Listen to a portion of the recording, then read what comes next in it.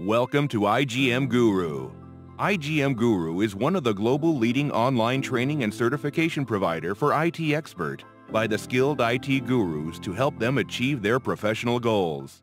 And now let's start with the next part, which is our deep learning. So uh, deep learning is also the part of AI and uh, the thing is in the deep learning, basically what we are doing is we are trying to mimic the human neuron system. Everyone is uh, we we everyone know about that uh, everyone knows this thing that uh, human brain is the most complex machine and uh, in human brain we have billions of neurons. And the way and and uh, the neurons is is responsible for uh, processing the information that is coming from the senses different senses through the eye uh, skin ear. Whatever the information is coming from the senses they process this information and take the take the signal to the a different part of the brain uh, to take some kind of a decision right? So what happen is our mathematicians want to build a similar architecture or you can say that our researcher wants to build a similar architectures which can mimic the human neuron, human biological neuron. So if I talk about a human biological neuron, how it looks like. So in this one, we have like three parts. Majorly, we have the three parts. One is the axon terminal. So axon terminal is a kind of a portion of the neuron. This represents the one neuron. Axon terminal is the one part of the my neuron which is responsible to take the inputs. So this is taking the input and uh, then I have the this middle part which is the axon. This is the axon terminal and this is the axon. So axon is the portion which is responsible for processing the information.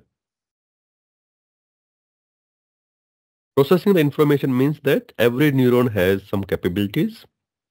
Every neuron has like some capabilities, guys. And uh, these neurons is responsible to process only that information. Uh, I don't know whether you are aware or not. So in human brain, guys, like uh, few portion of the, uh, one portion of the brain is only stored the memory. One portion of the brain is only stored the color information one portion of the brain is responsible to find the uh, whether it's a 2D image or the 3D picture or whatever the like uh, uh, color intensity you can say that one like so we have a different different portion in the brain and that is the collection of the neuron and they are only doing a specific task. It's not like that a neuron is the multitask neuron is doing a single task for which the neuron is designed so now we have the axon. So this axon is responsible for processing the information. Then after that, we have the dendrites. So dendrites has this kind of a structure and this dendrites is, is responsible to pass the information to the next neuron. So if I show you the two neurons so this is how the two neurons looks like. Means that two neuron means that uh, this is the one neuron and the dendrites of the the previous neuron mix with the axon terminal of the next neuron and pass the information. These are the electric signals basically. These are passed to the uh, next neuron and next neuron will further perform its action and pass to the next neuron. So this is how it create a very complex architecture in human brain. So now our mathematician discuss these things with the neurobiologist and they try to understand the behavior. So the behavior is, is this one that the neuron is getting some input. Then we have something which process the input and then we are process we are passing this input to the next neuron. So we understood this processing of the neuron and then our mathematicians start exploring the functions which have the same nature.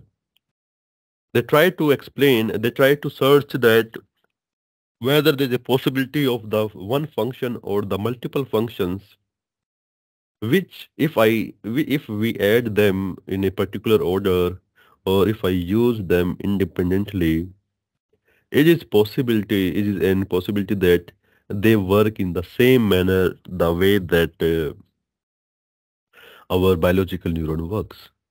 So then when they search out so we found some functions and we call this function as the activation functions so the the use of the activation function is is just to uh, create the architecture for the artificial neurons. So what we are doing is like we have some functions like uh, sigmoid, which is the nature of uh, uh, sigmoid function is is looks like this one, guys.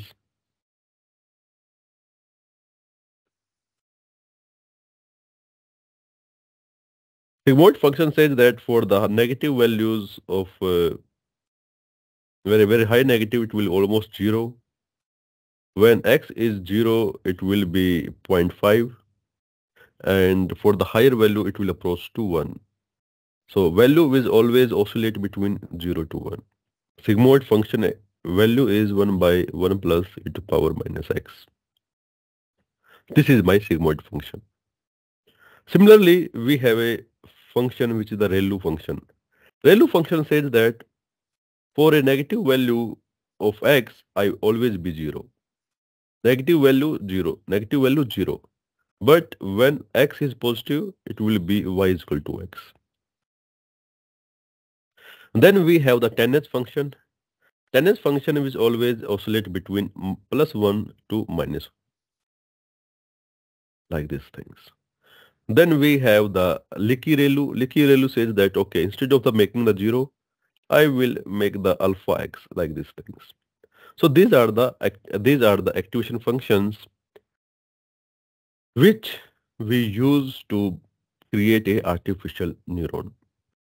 So if I talk about from the deep learning point of view, so activation functions are the functions which increase the complexity in my model or you can say that it is used to make my model learnable and complex. Complex means that when my model is is uh, complex, definitely my accuracy will uh, will increase. And if I talk about a neuron, if I talk about a artificial neuron, so it's not the neuron, it is the artificial neuron.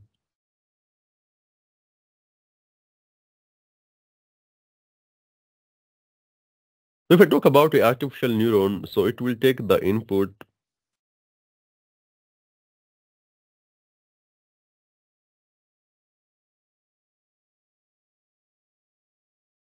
x1, x2, x3. For example, we are getting the input x1, x2, x3.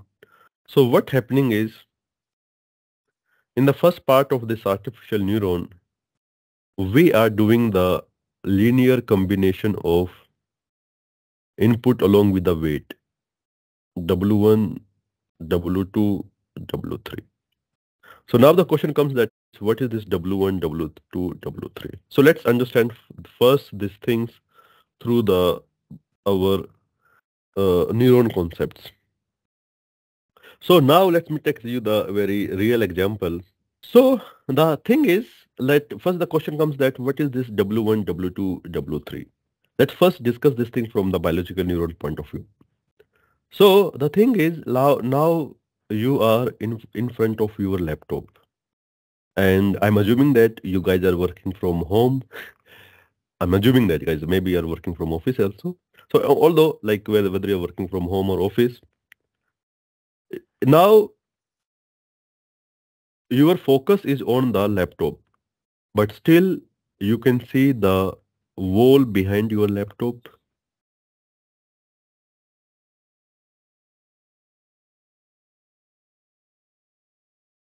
You can see the uh, you can see the uh, some items placed on your table.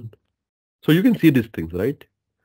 But because your eyes is process your eyes is passing this information to your brain. Okay your eyes is giving you the picture like uh, in, in, your laptop then behind uh, this wall and items placed on the table. But your brain is neglecting these informations. Am i right? Your brain is only focusing on the your laptop screen. Although you can see these things right? But your brain is ignoring this information. So the same thing we are doing it by putting the weight to my information because x1, x2, x3 is my information. It's not necessary that x1, x2 and x3 are equally important. We have to adjust this information by assigning a weight W1, W2 and W3 and this is what we my model will learn during the training process that which information I need to ignore and which information I put some kind of a more importance. Okay, so this is the concept of like uh, weight concept to assign the weight to the inputs to get the uh, to uh, to get that which information we need to focus on. So now in the first part of this neuron, we will have the W1X1 plus W2X2 plus W3X3. This is the first part of the neuron. And now in the second part of the neuron, we will pass this information, pass this linear combination values we can use we use the bias as well guys bias is just adjust the noise so we have this information and we pass this information to the activation function so this is the symbol of the activation function so we pass this information to the activation function and activation function will give me the one output and this output will further pass to the my another neurons and do the same thing. I will show you the architecture. So now the question comes that why if I, if I don't use the activation function, what will happen? If I don't use the activation function, it will only the linear combination of the uh, linear combination of the your weight and the inputs.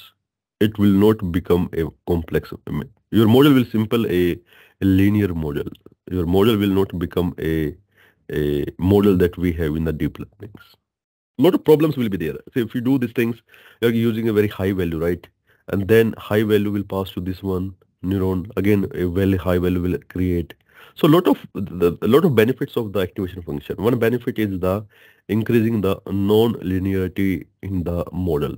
Non-linearity means that if I have a only linear line, like for example, uh, I want to use a, I want to build a classification between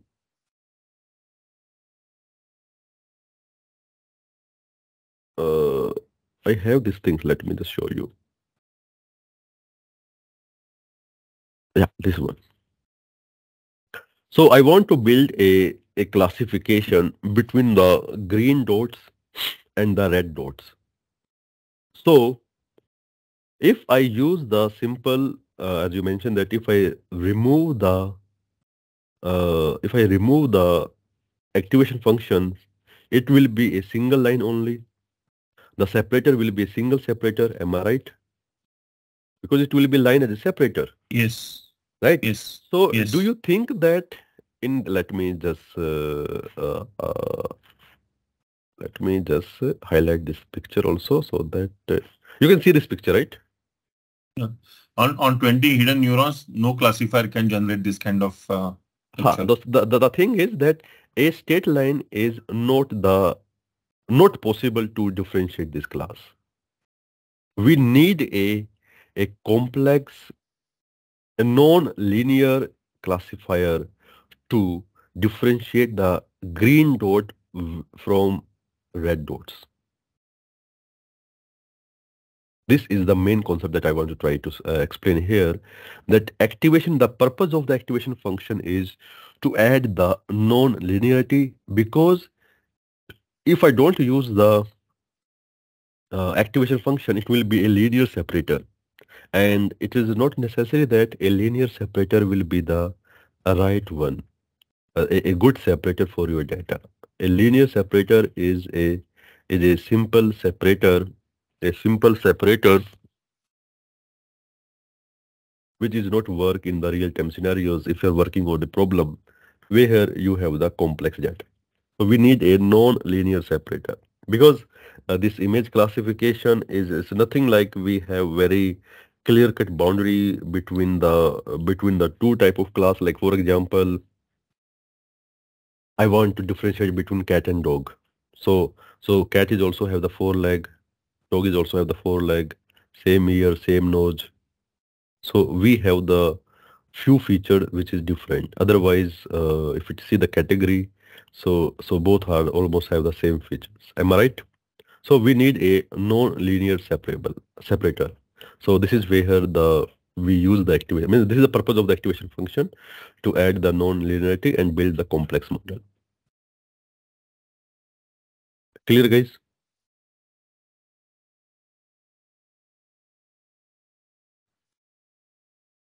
So uh, now we have seen these things. So let's understand some kind of a terminology.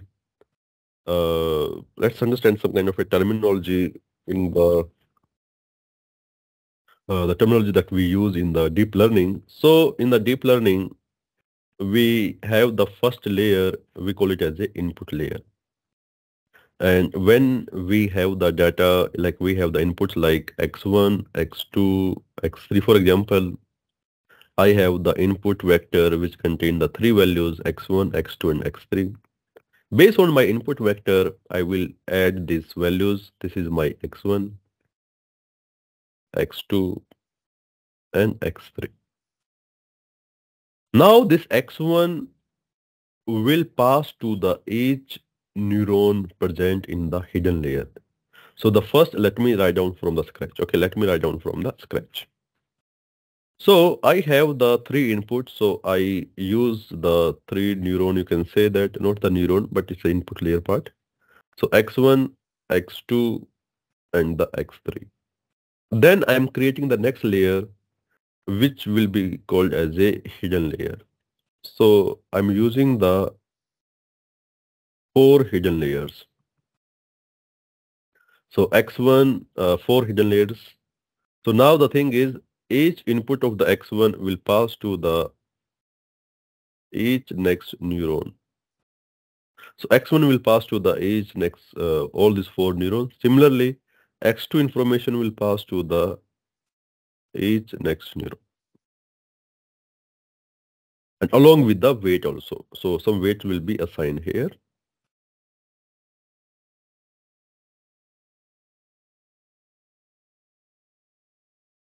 so now it is not necessary that we have we should have only one hidden layers hidden layers can be anything or and can any size so this time I'm using the three hidden layers.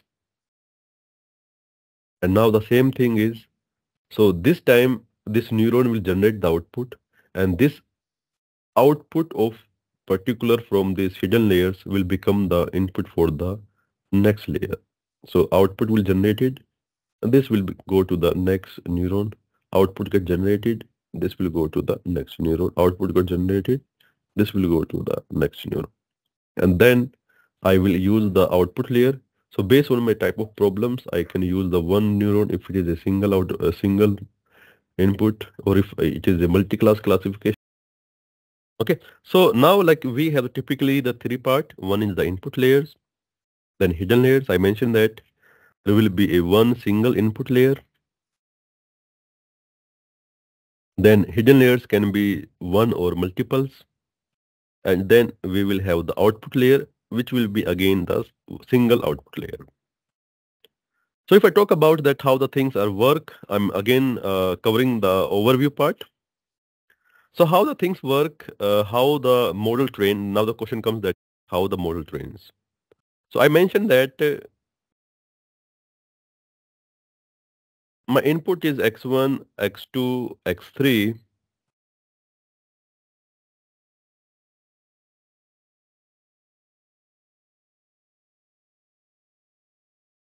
So these are my weights. Like for example, this neuron, when I'm passing this information x1, x2, x3, I assign a weight W1, W2 and W3, which is nothing but a weightage to my input x1, x2 and x3. Now the question comes that uh, like I start with a random value because I don't know whether the x1 is okay, whether the x1 is should be like for example I assign the value x1 as a 0.1, sorry w1 as a 0.1, w2 as a 0.3 and w2 as a 0.1 1, 2, for example. So corresponding, I'm just giving the weightage to the x1, x2 and x3, but I don't know because this is a random values. These are just random values. I don't know whether it is a good for us. So the thing is that I have the W1, W2, W3. I assign these things x1 with x2 and x3 and perform all the calculation and now perform the prediction. And prediction comes that, okay, this is my two category cat and dog. So basically in the cat and dog, we will get the probability. So it's saying that, sorry, uh, it's saying that, it's saying that I am 0.6% probability that it is the cat and 0.4 probability is, is a dog. I found that it is a cat. Okay. So actual is also it is a cat. But when it is a cat, so it, this probability should be close to 1 and this probability should be close to 0. It means that my model is working but not that much efficiently. So what I will do is my prediction is 0.6 and uh, 0.4 but actually should be 1 and 0. I have this is the actual uh, this is the predicted values from the model and this is the actual values. I will calculate the loss.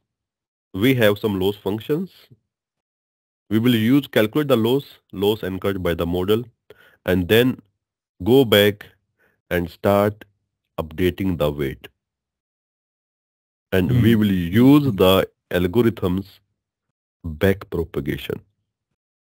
And back propagation is the algorithms which give the a huge breakthrough in the deep learning deep learning is not a not a new things guys it's not like the deep learning suddenly comes in the picture like if we talk about the deep learning so deep learning the main deep learning comes in the last uh, uh, in the uh, 10 to 12 years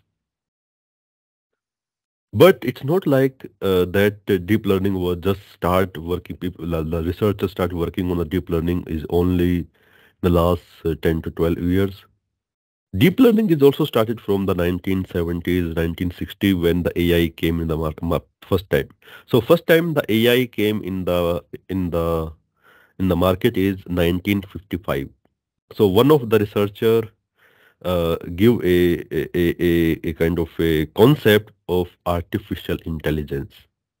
Can we create a machine which we can think like a human? Then slowly, slowly we start the things and maybe you also have seen this movie Imitation Game, where uh, the Alan Turing develop a machine to decode the Hitler messages, and uh, that that machine was the kind of a game changer in the Second World War.